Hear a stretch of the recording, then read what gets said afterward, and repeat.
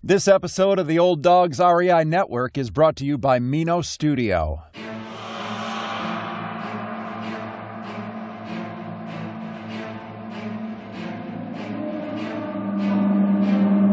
In a world where jobs are how most people make money, one man, one desire, one challenge dares to break the mold. Welcome to the Old Dawg's REI Network, where we don't work for money. Money works for us. Coming soon. Viewer discretion advised.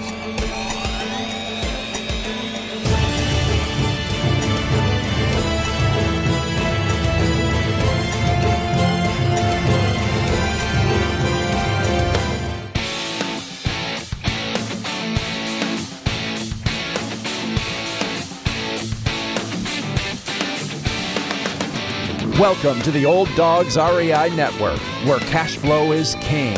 Real estate investing, the means, so you can enjoy your retirement dreams. This is the show where we cut right to the chase. No sales pitch, no long monologues, just simple how to real estate investing advice. So you can earn the passive income you need to enjoy your retirement today. And now, your host and chief old dog, Bill Manassero. Welcome to the Old Dawg's REI Network. I'm your host, Bill Manassero, and this is the show where 50 plusers and anyone else who wants to join us get solid, no sales pitch real estate investing advice to help generate real cash flow. This podcast airs twice weekly on Mondays and Fridays, and if you aren't already a subscriber, go to iTunes, type in Old Dog, spelled D A W G, find our podcast, and subscribe. Well, we have a, a great uh, show for you today. Uh, I got a fellow podcaster here uh, with us. Uh, we're going to be speaking with Seth Ferguson, and he has more than a decade of experience in high performance real estate. As the president of Alba Capital Group, he partners with investors to acquire and improve multifamily properties in key growth markets. Seth speaks about various real estate topics and strategy and is the host of Purchase to Profits, where he interviews successful real estate investors. Seth also holds his real estate broker's license in the province of Ontario and was thrilled to publish his first real estate book, Sell for More, in 2018. Well, Seth, welcome to the Old Dawg's REI Network. Thanks very much, Bill. I'm really looking forward to this. You, you do a great job on your show, and uh, you definitely have a voice for radio. So.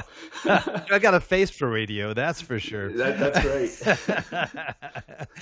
well, Seth, this is great to, to connect again with you. Um, I was just recently on his show, and uh, so this is uh, going to be a kick. Uh, it's always fun to be on the on the receiving end of this now. Uh, he's going to get to kick back, and I'm going to have to, uh, you know, c- come up with some great, you know, just uh, put him on the spot type questions, right? I, am ready for it. Give me the, give me your best. So. give me your best shot. Right? Well, uh, Seth, you know, this is going to be fun for me too because I, you know, I uh, love uh, Canada. I've been up there a, a lot of times, and uh, it's just a beautiful part of this uh, North American uh, uh continent we're on here. I uh, just uh, love to hear also some of the unique aspects of of investing up there. I know you do re- re- invest down here, I believe too. But you can tell us all about that. Why don't you just maybe just give me your your story? You know, where'd you come from? How'd you get into real estate and all that kind of stuff? Yeah, for, for sure. So I got into real estate it, eh, mainly because of my father. Um, my father had uh, recently purchased a real estate uh, brokerage. Um, so I had been uh, living in uh, Minneapolis uh, doing hockey. I, I was a full time hockey referee with aspirations of making it to the NHL. Um, wow. Many of the people I worked with are now in the NHL. Um, I just didn't make the cut. So uh, as I was still doing hockey, selling real estate on the residential uh, brokerage side gave me a good opportunity uh, to have a flexible schedule so I could still travel around, do the games, and uh, and make a living at the same time. So that's how I entered real estate on the brokerage side. Um, and then after uh, after a number of years, I've realized that it's the people who don't do the deals, like broker them, but it's the people who acquire the properties that truly build wealth over the long term. Um, and, and that really flicked a switch in my brain. So I, I started uh, learning more and more about um, about real estate investing. This was before YouTube was a big hit.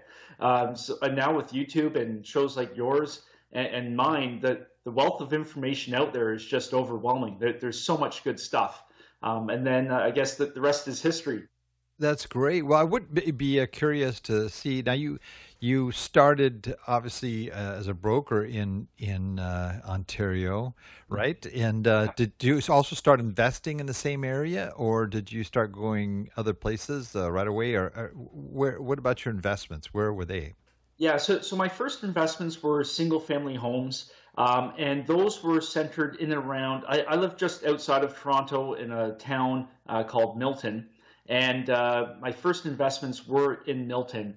Um, it was an it was a market I knew like the back of my hand. I grew up there. Um, I, I sold real estate there, so it just made sense for me at that time uh, to start acquiring property in the market I, I knew the best.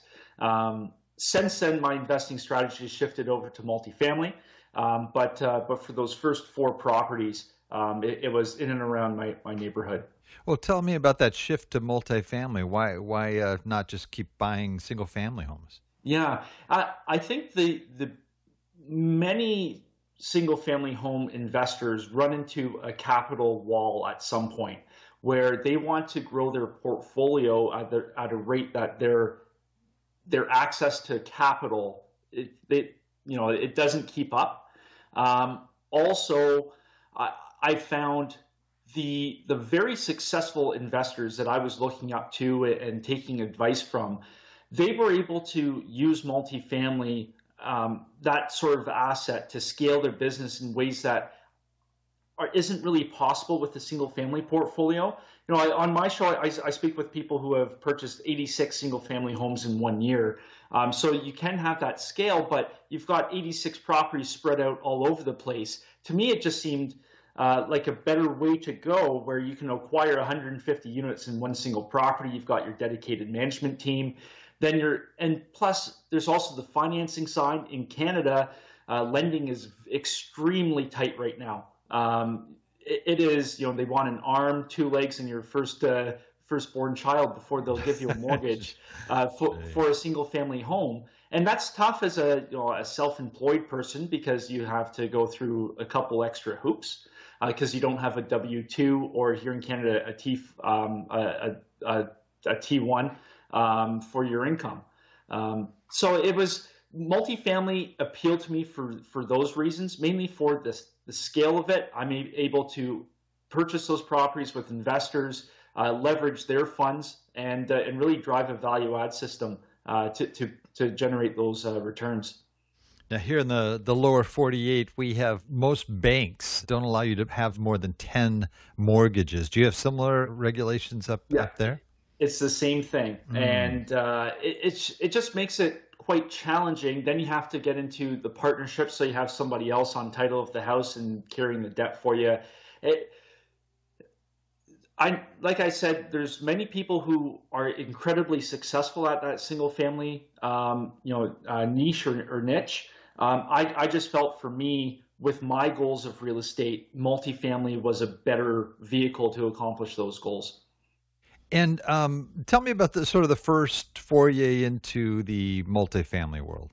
Yeah, so we are uh, right smack dab in the middle of the first foray. Uh, so I am actively uh, raising capital now uh, for uh, my first acquisition. Um, I I think it's important whenever whenever you're trying to move into a new new territory, it's important to find a, a mentor or somebody who's been through uh, through that process before, so you can learn from them, uh, leverage their network, um, all all that kind of stuff. So I've partnered with some really great people who have done some amazing things in uh, in that multifamily space. So I'm uh, I'm riding not on their coattails, but I'm I'm drafting right behind them as if we're racing bicycles or uh, or NASCAR.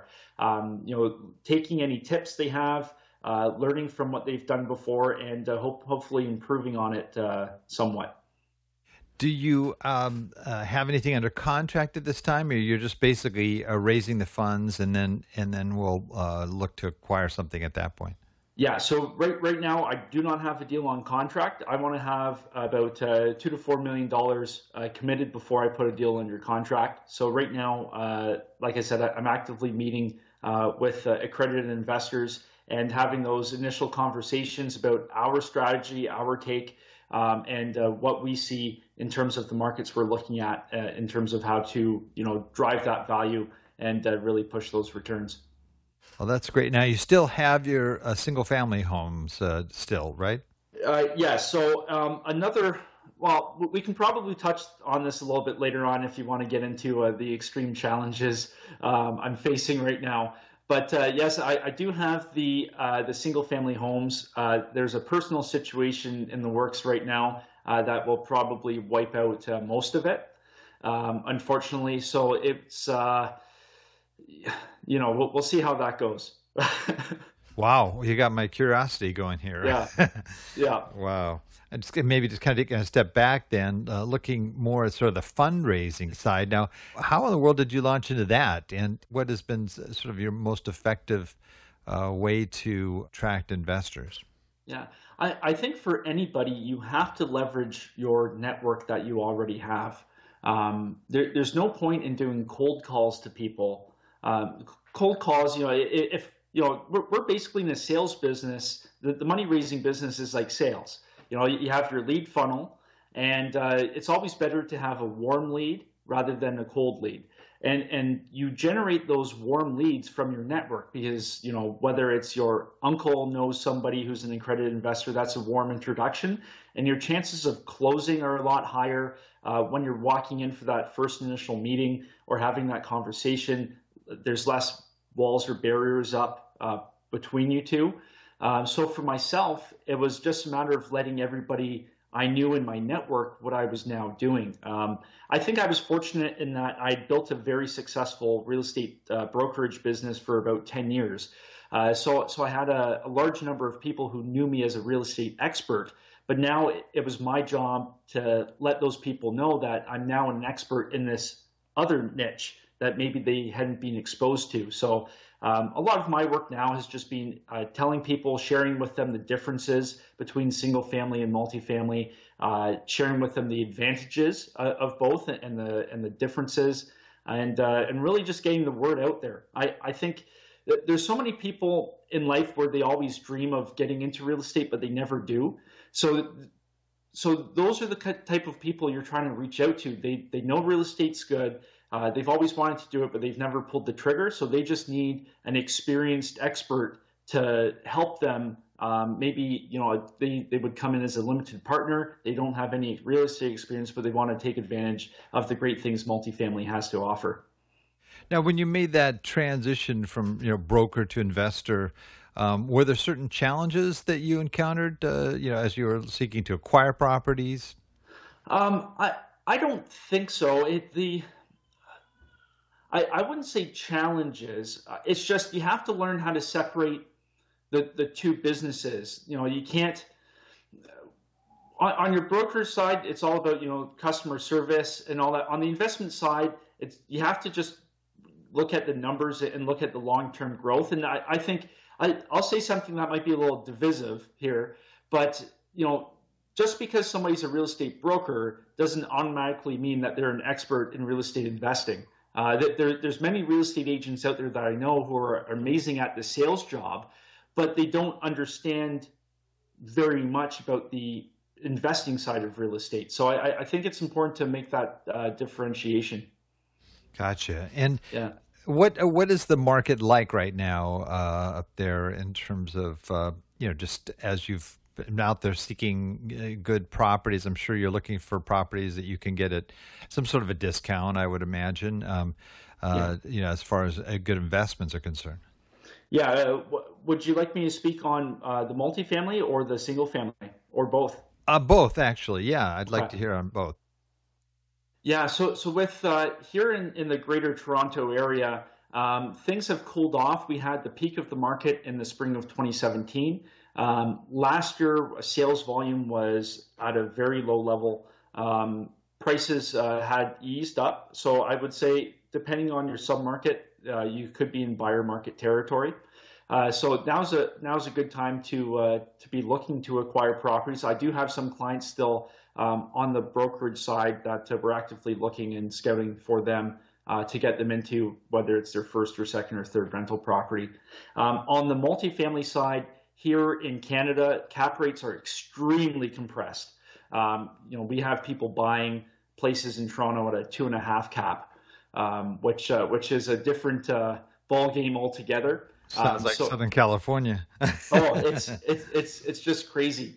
Um, you know, we, we, do have you know the, the key market drivers and the fundamentals fundamentals are are solid. You know, that just the the sheer population growth and the in migration. Um, you, know, for the next 20, 30, 40 years, uh, the Toronto area is just going to be one huge growth. Um, you know, there, there's there's you know 200,000 people moving here a year.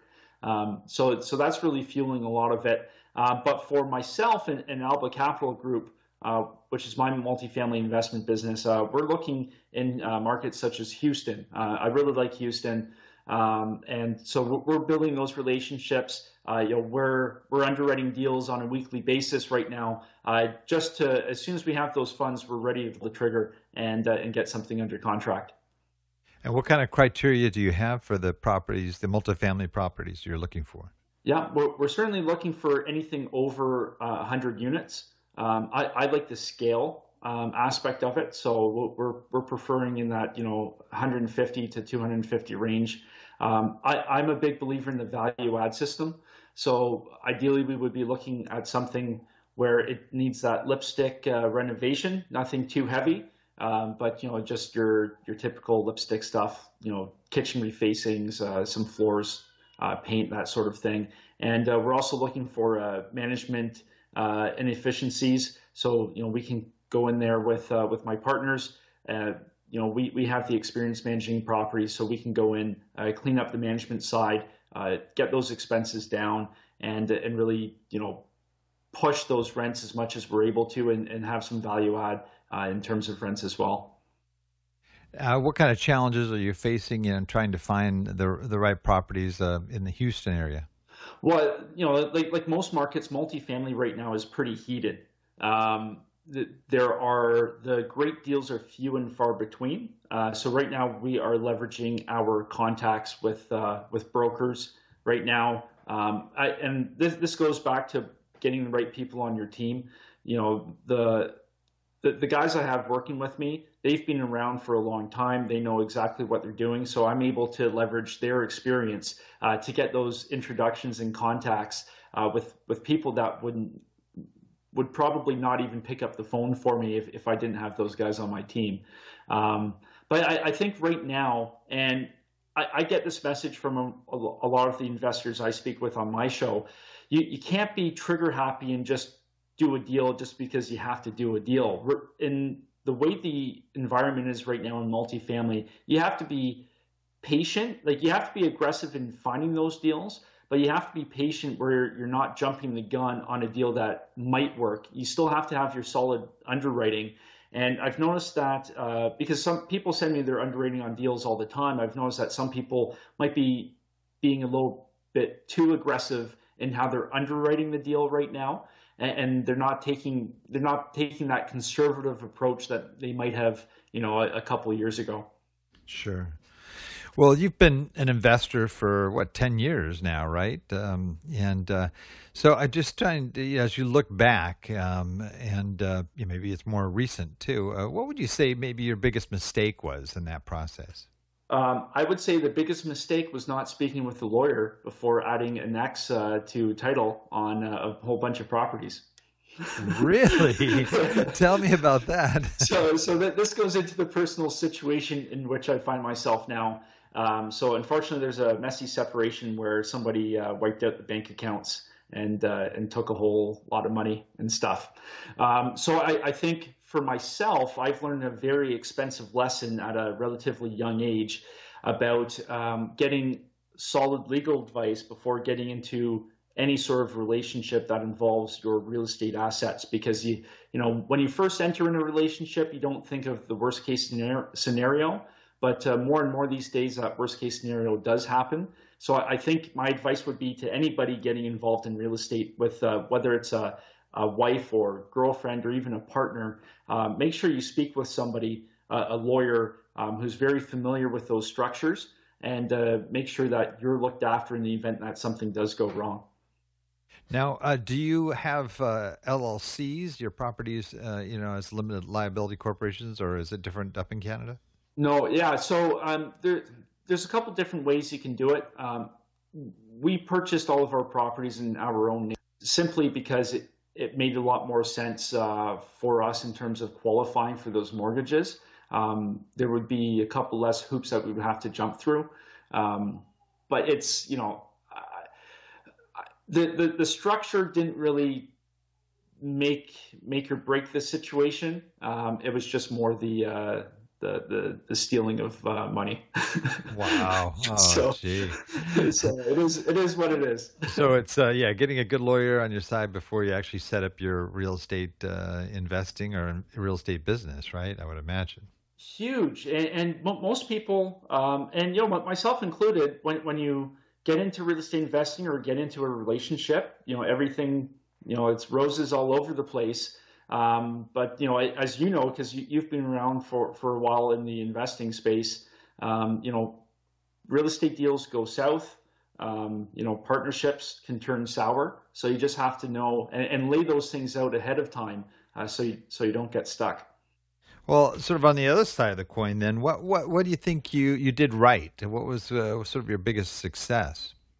Well, I, I, think that the biggest success would be actually just doing it. Um, and, I, I, know it sounds so cliche, and everybody says you just have to take action, but it, it's so true. Um, you know, I, I, know with the real estate sales side, um, I'd always have people approach me and say, "Hey, I really want to get into real estate. Can you show me how to do it?" And two years later, those people haven't done anything. They're, they're stuck in that analysis paralysis, uh, analysis paralysis mentality where they're, they're too afraid to do something, but they're just they're just treading water, um, and that doesn't you know that doesn't do them any good because 10 years from now they'll still be dreaming about real estate but haven't done anything and have nothing to show for it um, I, and I think that one of the lessons I learned in terms of my successes was the power of leverage. Um, so you know, by buying the right property, doing the right renovations, putting the right tenants in there, and then refinancing that and using the money that you took from the refi to now acquire another property, I think that's the most beautiful thing about real estate because now I own another property with none of my own with none of my own cash in the deal. So my my, re- my return on investment is infinite at that point because I, I just used all of the bank's money to uh, buy another place. That's yeah. great. Well, do you think there's certain uh, skills or, or, gifts that you uh, realized, wow, this worked really well with my real estate investing that you think, uh, you know, something that uh, that has been a, a product uh, or at least uh, contributed to your success?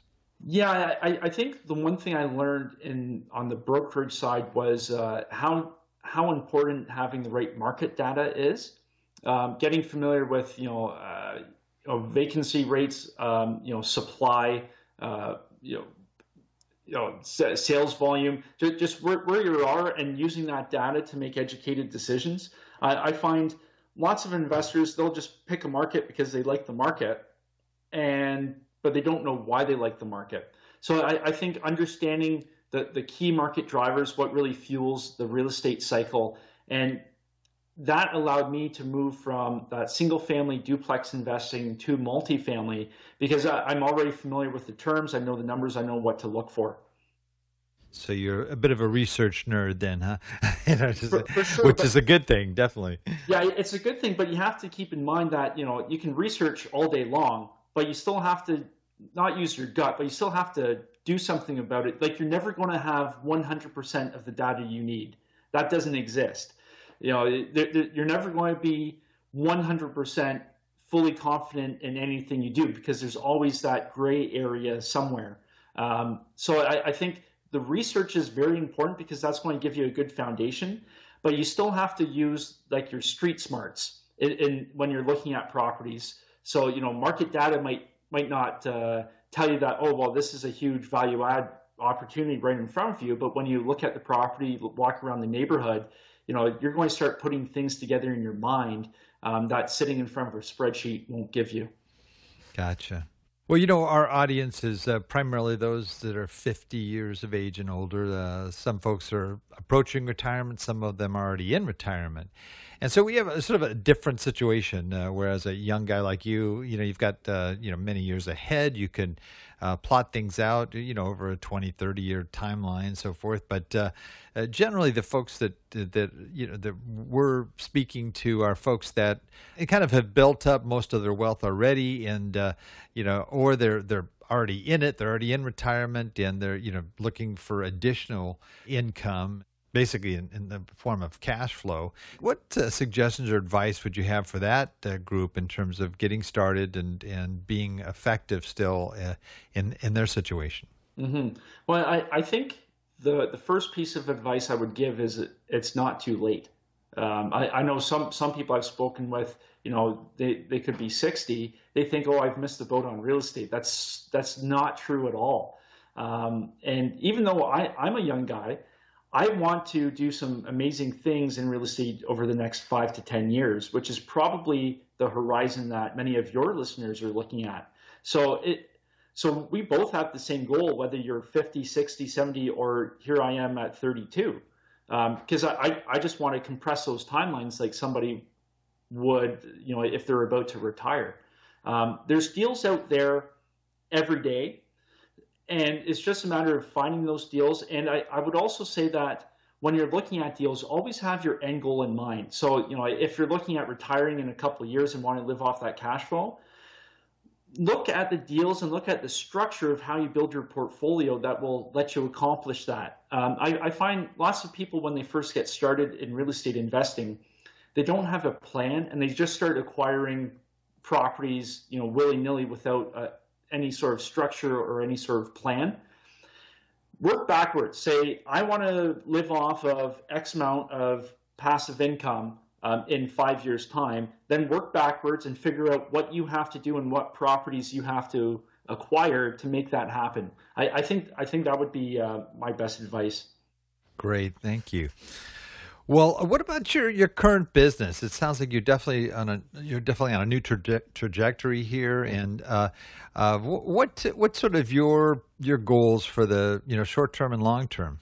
Yeah, so uh, my uh, my short term goal is with Alba, we will be having a our first deal under contract by July this year. Uh, that's our goal. So we're going to be acquiring our first 100 unit plus property um, with a capital raise of you know uh, probably about four million. Uh, that's our short-term goal. Um, long-term goal um, over the next 10 years, I want to have a billion dollars of real estate under uh, uh under management. Oh, that's great. That's yeah. great. Well, going going for the gusto there. you, you, have to go. You have to go big. You can't go small. Yeah, you got that right. Well, we uh, are kind of zooming by here, and uh, one of the things that we do near the end of our interviews here is we call it our wrap it up session, where I ask you a series of quick questions, and you kind of share resources that have been valuable to you, and it's just another means to bring some good information that our, our listeners can use uh, as they uh, look at real estate investing as a means to help them in the future. So, if you are ready, we can go ahead and start to wrap it up. I'm ready. Okay, favorite real estate book? I would say The Millionaire Real Estate Investor by Gary Keller. Great, great book, yes. Uh, how about the favorite just general business book? Uh, that would have to be The E Myth uh, by Michael Gerber. Yeah, ex- also another excellent book. How about most valuable website for success uh, other than your own? Um, I would say Bigger Pockets is a good resource for people getting started. Yeah, good. Yeah. Another good one. How about uh, any favorite apps that you might use on your phone uh, that have been valuable for you? I, I would say the Google Calendar. that, that, keeps me organized. That's yeah. great. That's great. Yeah. And how about a favorite quote? Uh, my favorite quote would be if you think it's expensive to hire a professional, wait until you hire an amateur. that sounds like my my quote for contractors, and uh... yeah, it, it's so true. It, like it, it, proves itself true time and time again. Oh man, you got that right. Yeah. And then this one here, if you eh, basically lost everything you had and uh, built up over the years here, and all you were left with is $1,000 in cash. What would you do with that $1,000 to relaunch your real estate investing business? I think this question is extremely relevant because I am in that situation at the moment. Wow. Um, so, how I would use that $1,000, I would use that to build a platform in which I could share my knowledge with other people, um, which is exactly what I'm doing on my show, Purchase to Profits. Um, I am sharing the knowledge and experiences I've uh, I've had over the past 10 years and sharing the experiences my guests have had. And it's a giving mentality. You give first, and so you're giving out free information, all sorts of good stuff. And at some point down the road, that's all going to come back to you tenfold. That's great. Uh, have you ever heard of the book The Go Giver?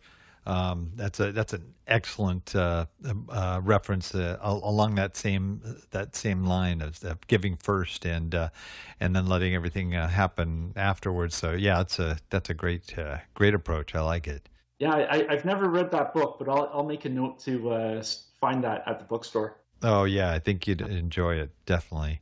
Yeah. Well, I'm sure there's a lot of folks listening here too that uh, would love to find out more about you and what you do. And uh, what would be the best way for our folks to to reach you or, or to find out about you? For sure. So I will direct them to two websites. So the first website is sethferguson.org. Uh, you can find my you know my background, um, info, information about purchase to profits, all that sort of stuff. And uh, if you are an, accredited, an accredited investor looking for some great real estate opportunities, you can also go to albacapitalgroup.com, alba, A-L-B-A. Uh, excellent. Well, uh, gosh, the time has kind of zipped by here, and uh, it's a shame because uh, a lot of lot of good uh, information shared. I appreciate that. But we have a tradition here, and uh, we always ask our guests to close us out with their best old hound dog howl. So uh, you know, you're a Canadian guy. It's probably like a lot of wolves up there and stuff. That uh... yeah, I uh, I've got the polar bears beside my igloo. So, yeah. so why don't you just go ahead and give me your your best old hound dog howl? All right, that was a good one. That'll work. All right. well, Seth, thank you so much for being on. This has been really a blast, and uh, I really appreciate your sharing. You know, some of the challenges too, as well as some of the successes. Uh, I know that uh, those are sometimes the the toughest thing, but boy, we certainly learn from those. That's I think one of the big lessons uh, we have uh, in life is those mistakes that do happen uh, that we uh, next time we make sure we don't repeat. For sure, and, and, you know what? I, I will just mention that most of the incredibly successful people I've interviewed on my show, they all had something really bad happen to them, and they always came back far stronger. Yeah, well, that's the truth. If you look at even the world's uh, wealthiest men, you know, they've been through many a failure in their life, some multiple bankruptcies and other major disasters. But uh, it's that persistence and that drive to, to just keep uh, keep on moving forward and keep plugging on is, that really will get us where we ultimately want to go. So uh, I agree with you on that one. Absolutely. Well, uh, again, thanks, Seth. And I also want to thank all our old dog listeners out there, too, for joining us. I know there's a lot of other things you could be doing right, uh, right now, but the fact that you've taken the time to join us means a lot, and we greatly appreciate it. Uh, please note uh, everything presented here today, including some of the links that uh, Seth shared with us here, and uh, will be available in our detailed show notes on the Old Dawg's website at olddawgsreinetwork.com forward slash blog and look for the episode with uh, Seth Ferguson. Well, that's the show for today. Remember, cash flow is king and real estate investing the means. Until next time, keep moving forward and may God bless. Thank you very much for visiting the Old Dawg's REI Network. We would greatly appreciate if you would stop by iTunes and let us know what you think of the show. We would love if you could subscribe to the podcast, give us a five star rating, and write a review.